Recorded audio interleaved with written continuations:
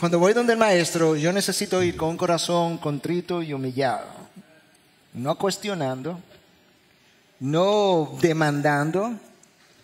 ¿Sabes qué? A una segunda persona de la Trinidad, cuando fue a pedirle algo a su padre en Getsemaní, se arrodilló.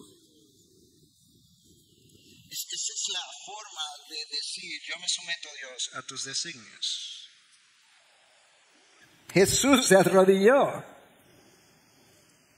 En tercer lugar, cuando Dios parezca entretenido, como que no te está haciendo caso, como le pareció a Jairo probablemente, recuerda que Dios sabe lo que está haciendo, nunca ha cometido un error y nunca va a cometerlo.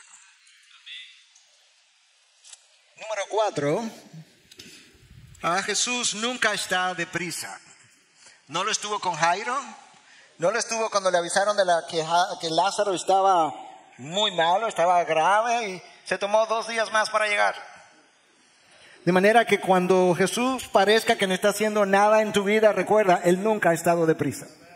Y no lo va a estar con tu caso o con el mío. Número 5, 6, 7, no sé, ya me perdí. Cuando Jesús parezca, tú estás orando y estás orando, que no te está haciendo caso, recuerda, la primera vez que se lo dijiste, Él no se estaba enterando en ese momento de tu situación. Él estaba al tanto de tu condición. La conoce mejor que tú y antes que tú. De manera que Él sabe lo que está haciendo.